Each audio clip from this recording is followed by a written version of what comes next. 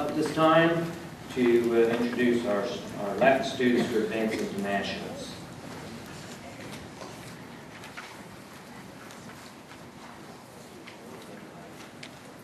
Good evening, and I'll go ahead and invite the Latin students to come on up. Uh, Yeah. Thank you, Susan. Um, We had um, our state junior classical league contest in, at Atascocita High School in Humble, Texas, back on March 25th and 26th. We had four students from Flower Mound that made a first or second place in the state.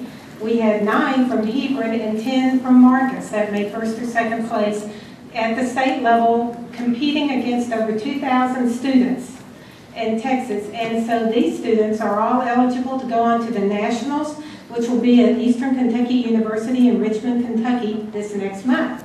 So let me introduce them to you. From Flower Mound, we have Austin Castle. Austin, that's you. Casey Lawson. Miss Casey. And Austin Koss. And we're missing Al Gilani. Austin Castle got a first place in dramatic interpretation. Casey got a first place in Greek derivatives. And on our other Austin, Kaz, got a first place in Roman life. So, congratulations.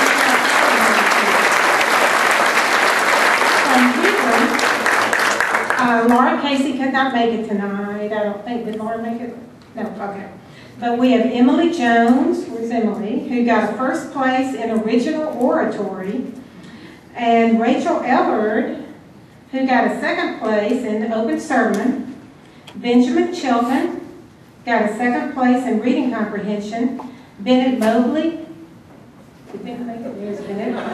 Got a second place in um, Latin literature and Greek life and literature.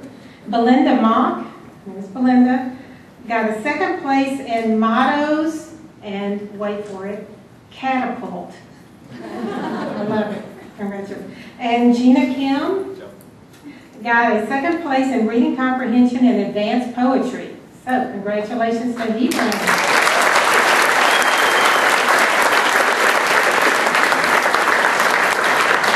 And then from Marcus, Teddy Blakely got a first place in ancient geography and monuments and dramatic interpretation. Uh, he also got a second place in boys couples costumes. Uh, Karan Mahabadi got uh, first place in costumes.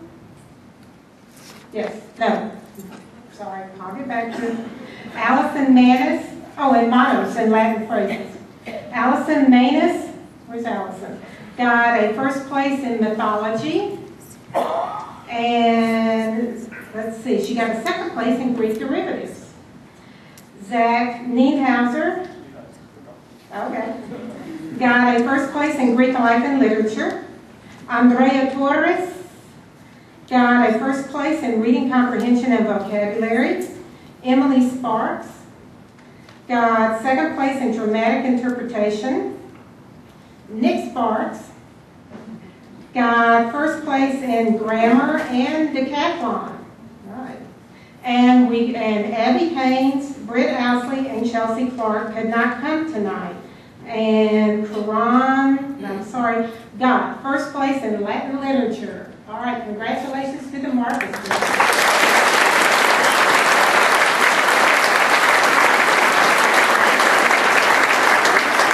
And we will be back in September with the awards that they won at the Nationals in Kentucky this summer.